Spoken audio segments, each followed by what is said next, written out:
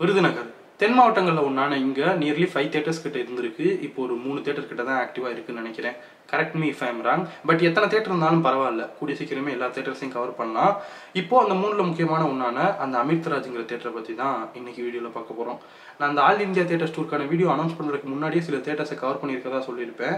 அந்த தேட்டர்ஸ்க்கெல்லாம் நான் படம் பார்க்க போயிருப்பேன். அதனால அதை வீடியோ பண்ணியிருப்பேன். பட் அந்த வீடியோ அனௌன்ஸ்மெண்ட்டுக்கு அப்புறம் விருதுநகரில் ஒரு தேட்டர் கவர் பண்ணணும்னு கிளம்பி போய் பார்த்த தேட்டர் தான் இது. விருதுநகரோட பழைய பஸ் ஸ்டாண்ட் கிட்ட தான் இந்த தேட்டர் இருக்கு. இன்னும் எக்ஸாக்டா சொல்லணும்னா அங்கே ஒரு பாரத் பெட்ரோலியம் பல்க் இருக்கும். அதுக்கு போற பாதையில இறங்கி கொஞ்சம் முன்ன போனோம்னா ரைட் சைடில் உள்ள இருக்கும் இந்த தேட்டர் லோக்கலில் விசாரிச்சிங்கனாலே உங்களுக்கு ரூட் சொல்லிடுவாங்க எத்தனையோ தேட்டர்ஸ் நான் போயிருக்கேன். ஒரு சில தேட்டர்ஸை தவிர்த்து மோஸ்ட்லி நான் போன எல்லா தேட்டர்ஸ்லையுமே அங்கே ஒர்க் பண்ணுறவங்க நம்ம பேசினா ரொம்ப ஸ்வீட்டாகவே பேசுவாங்க. ஆனால் இவ்வளோ தேட்டர்ஸில் நான் பார்த்த ரொம்ப கைண்டான ஒர்க்கர்ஸ்னால் இங்கே தான் இருக்காங்க. எல்லாருமே அவ்வளோ அன்பாக நடந்துக்கிட்டாங்க. அதுலேயும் அண்ணன்லாம் தங்கமான மனுஷங்க. நியர்லி ஒரு தேர்ட்டி இயர்ஸ்க்கான எக்ஸ்பீரியன்ஸ் இவருக்கு ஆப்ரேட்டராக மட்டுமே இருக்குது வெவ்வேறு தேட்டர்ஸில் இங்கே மட்டுமே இல்லை நிறையா தேட்டர்ஸில் ஒர்க் பண்ணியிருக்காரு. அவரோட இன்ட்ராக்ட் பண்ணுறப்போ அவரோட நாலேஜை நம்மக்கிட்ட ஷேர் பண்ணிக்கிட்டாரு. ஸோ அது ஒரு நல்ல எக்ஸ்பீரியன்ஸாகவே இருந்தது. நம்ம போகிற டைங்கள் ஒர்க் பண்ணுறவங்க தான் இருக்காங்க அப்படிங்கிறனால அவங்களோட மட்டும்தான் இன்ட்ராக்ட் பண்ண முடியுது. அவங்களுமே ரீசெண்டாக ஜாயின் பண்ணியிருக்கனால இந்த தேட்டர் ஓப்பன் பண்ண எக்ஸாக்டான இயருங்கிறது தெரியல. பட் வெயிட் எல்லா தேட்டர் ஓனர்ஸ் கூடயுமே ஒரு இன்டர்வியூ வீடியோ பண்ணலான்னு இருக்கேன்னு சொல்லியிருக்கேன். ஸோ அதில் நமக்கு இந்த எக்ஸாக்டான டீட்டெயில்ஸ்லாம் கிடச்சிரும். அதுக்கு முன்னே இந்த தேட்டர் எந்த வருஷம் ஓப்பன் பண்ணாங்க அப்படிங்கிறத தெரிஞ்சவங்க யாராவது இந்த வீடியோ பார்த்துட்டு இருந்தீங்கன்னா அந்த இயரை மறக்காம கமெண்ட் பண்ணுங்க. இதுக்கு முன்னே ஏதோ ஒரு படத்தில் பார்த்த ஞாபகம் பட் நிச்சயம் நேரில் பார்த்த மாதிரி ஞாபகம் இல்லை. பொதுவாக நம்ம போற தேட்டர்ஸ் எல்லாத்துலேயுமே கீழே நார்மல் சீட்ஸுங்கிறது இருக்கும். அது இல்லாமல் பால்கனி இருக்கும். இங்க அது ரெண்டுக்கு இடையில ஒரு பாக்ஸுங்கிற செட்டப் வச்சிருக்காங்க. பால்கனியோட லெஃப்ட் அண்ட் ரைட் கார்னர் கீழே. அங்கே தனியாக அதுக்குன்னு ஒரு லிமிட்டட் நம்பர் ஆஃப் சீட்ஸ் ஒரு கண்ணாடி போட்டு அது ஒரு சின்ன ரூம் மாதிரி க்ளோஸ் பண்ணிடுறாங்க. அதுக்குன்னு தனியாக ஏசிலாம் இருக்குது இது மாதிரி வேறு சில தேட்டர்ஸில் இருக்கும்னு நினைக்கிறேன். அப்படி வேறு ஏதாவது தேட்டர்ஸ் தெரிஞ்சிச்சுன்னா உங்களுக்கு கமெண்ட் பண்ணுங்கள் பட் நான் ஃபர்ஸ்ட் டைம் இங்கே தான் பார்த்தேன். அண்ட் நான் இங்கே கேட்டவர் இந்த தேட்டர் ஆரம்பிச்ச காலத்துலேருந்தே அந்த பாக்ஸுங்கிற செட்டப்பை மெயின்டைன் பண்ணுறாங்களாம் கிரவுண்ட் ஃப்ளோரில் அந்த நார்மல் சீட்ஸு ஃபர்ஸ்ட் ஃப்ளோரில் இந்த box setup box A box பின்னு இருக்கும். அது இல்லாமல் செகண்ட் ஃப்ளோரில் பால்கனி அப்படி தான் மெயின்டைன் பண்ணுறாங்க கீழே நார்மல் சீட்ஸுக்கு ஹண்ட்ரட் ருபீஸ் டிக்கெட்டு பாக்ஸுக்கு ஒன் ஃபிஃப்டி பால்கனிக்கு ஒன் டுவெண்ட்டி தான். அந்த பாக்ஸ் செட்டப்பு லிமிடெட் சீட்ஸோட ஏசி எல்லாம் போட்டு அது ஒரு தனி ரூம் மாதிரியே மெயின்டைன் பண்ணுறாங்க நல்லா தான் இருக்குது ஆனால் நான் சொன்ன மாதிரி அதை கண்ணாடி போட்டு க்ளோஸ் பண்ணியிருக்காங்க அந்த கண்ணாடி வழியாக தான் நம்ம படம் பார்க்குற மாதிரி இருக்கும். ஸோ படம் பார்க்க வர்றவனுக்கு அது கரெக்டாக இருக்காது. படமும் பார்க்க வரான் பாருங்க. அவனுக்கு வேணால் அந்த செட்டப் கரெக்டாக இருக்கும்னு நினைக்கிறேன். நான் எப்பவும் ப்ரிஃபர் பண்ணுறது அந்த கிரவுண்டில் சென்டர் சீட் தான் நான் ப்ரிஃபர் பண்ணுவேன். உங்களுக்குமே நான் அதை தான் சஜஸ்ட் பண்ணுவேன். அதுக்கு மேலே ஒரு டிஃப்ரெண்ட் வியூ ஆங்கிள் வேணும்னா வேணால் நீங்கள் பால்கனி போகலாம் சொன்ன மாதிரி இதை படமும் பார்க்க வர்றவன் பயன்படுத்திக்குவாங்க. உள்ள நுழைஞ்சிங்கன்னா தியேட்டர் பில்டிங்கோட ரைட் சைடு நமக்கு லெஃப்ட் சைடா இருக்கும். அங்கே தான் டிக்கெட் கவுண்டர் இருக்கு. நீங்க அங்கேயே பைக் பார்க்கிங்கான டிக்கெட்டும் வாங்கிக்கலாம். பைக் பார்க்கிங்க்கு டென் ருபீஸ் தான் சார்ஜ் பண்றாங்க. இப்போ நீங்க நார்மல் நூறுரூவா டிக்கெட் எடுத்துட்டு வரீங்கன்னா வெளியே உட்காந்துருக்கவங்க கிட்ட டிக்கெட்டை கிழிச்சு வாங்கிட்டு உள்ள போனதும் தியேட்டர் பில்டிங்கோட லெஃப்ட் சைடு நமக்கு அது ரைட் சைடா இருக்கும். அந்த பக்கம் நடந்து போகணும். அந்த பக்கம் சில டோர்ஸ் இருக்கும். அதில் ஒரு டோரை க்ளோஸ் வேற பண்ணி வச்சிருக்காங்க. பட் மித்த டோர்ஸை திறந்து ஓப்பன் பண்ணி நீங்க உள்ள போய்க்கலாம்.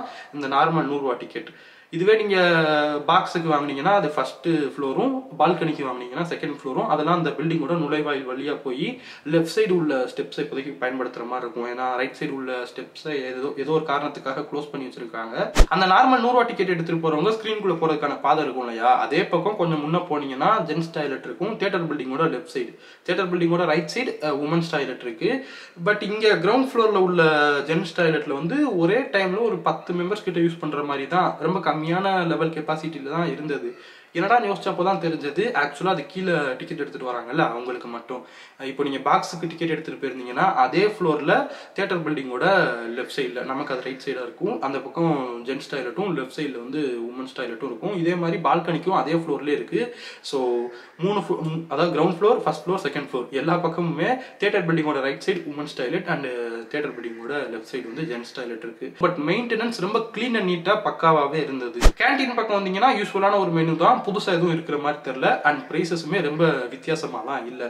பட் இங்கே எவன் வந்து ஓசியில் கேட்டான்னு தெரில இலவசமாக ஸ்நாக்ஸ் வழங்கப்படாதுங்கிற மாதிரி ஒரு ஸ்டிக்கர் ஒன்று அங்கே ஒட்டி வச்சிருந்தாங்க. எவனோ நம்ம போய் பார்த்த வேலை தான். சும்மாலாம் ஒட்ட மாட்டாங்கல்ல. கேண்டீனை பொறுத்தவரை கிரவுண்ட் ஃப்ளோரில் மட்டும்தான் இருக்குது அது மேலே எல்லாம் இல்லை. நீங்கள் மேலே டிக்கெட் வாங்கிட்டு போயிருந்தா கூட கேண்டீனுக்கு கீழே வர மாதிரி தான் இருக்கும். பால்கனிலையும் பாக்ஸ்லையும் சீட்டோட கம்ஃபர்ட் லெவலும் அதோட மெயின்டெனன்ஸும் ரொம்ப பிரமாதமாக இருந்தது. கீழே அதோட கம்ஃபர்ட் லெவல் ஓகே பட் மெயின்டெனன்ஸை பொறுத்தவரை ரொம்ப நாள் யூஸ் பண்ணிட்டு ஒழுங்காக அதை க்ளீன் பண்ணாம இருந்தால் ஒரு மாதிரி இருக்கும் இல்லையா?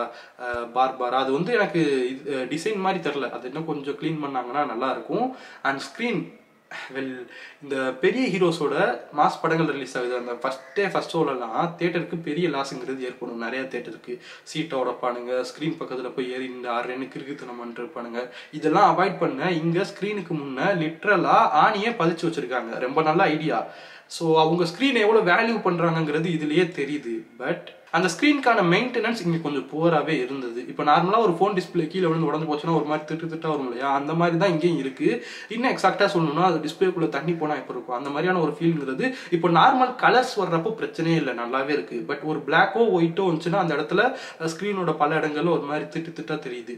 ஒரு புவர் மெயின்டெனன்ஸ் மாதிரி தான் எனக்கு தெரியுது. அஃப்கோர்ஸ் ஸ்க்ரீனுங்கிறது ரொம்ப சென்சிட்டிவான ஒரு ஆப்ஜெக்ட் அதை மெயின்டைன் பண்ணுறது அவ்வளோ ஈஸி இல்லை. பட் ஒரு தேட்டருக்கு ரொம்ப அடிப்படையான விஷயங்கள்ல ஸ்க்ரீனும் ரொம்ப முக்கியமாக முக்கியமான ஒன்று வீட்டில் உட்காந்து ஃபோன்லேயோ டிவிலையோ படம் பார்க்க முடியாமல் அங்கே வரானுங்க. ஒரு பெரிய அஹ், ஒரு பிரம்மாண்டமான ஸ்க்ரீனில் படம் பார்க்கணுங்கிற ஒரு முக்கியமான காரணத்துக்காகவும் தான் இங்கே வராங்க. அப்படின்றப்போ அந்த ஸ்க்ரீனை மெயின்டைன் பண்ணியிருக்கணும். இந்த தேட்டரை பொறுத்தவரை நான் சொன்ன மாதிரி எந்த வருஷம் ஆரம்பிச்சாங்கன்னு எனக்கு தெரியல பட் நியர்லி ஃபார்ட்டி இயர்ஸ் ஆகுது இருக்கும். இந்த தேட்டரோட கேம்பஸ்ல ஆரம்பிச்சு உள்ள அந்த சீட்ஸோட கம்ஃபர்டபிலிட்டி அந்த ஆம்பியன்ஸ்னு எல்லாமே ஒரு நல்ல எக்ஸ்பீரியன்ஸ் கொடுக்கறதுக்கான எபிலிட்டி உள்ள ஒரு தேட்டர் தான் இது. பட் அந்த ஸ்க்ரீன் மட்டும்தான் இப்போதைக்கு இதில் ஒரு சின்ன குறையா எனக்கு படுது. அதை மட்டும் அவங்க அப்கிரேட் பண்ணிட்டாங்க அப்படின்னா இல்லை அதை சரி பண்ணிட்டாங்க அப்படின்னா ஒரு தரமான எக்ஸ்பீரியன்ஸ் கொடுக்கக்கூடிய எல்லா ஃபெசிலிட்டியும் உள்ள ஒரு தேட்டர் தான் இது. என்னதான் படம் பார்க்க வரவனுக்கு அது ஒரு பெட்டர் எக்ஸ்பீரியன்ஸை கொடுக்காதுன்னு சொன்னா கூட எனக்கு இங்கே அந்த பாக்ஸ் கான்செப்ட் ரொம்பவே பிடிச்சிருந்தது. நிச்சயம் ஃபியூச்சரில் இந்த தேட்டரை நான் விசிட் பண்ணுவேன். நீங்கள் யாராவது விருதுநகர் பக்கம் போனீங்கன்னா நிச்சயம் இந்த தேட்டரை ட்ரை பண்ணி பாருங்க.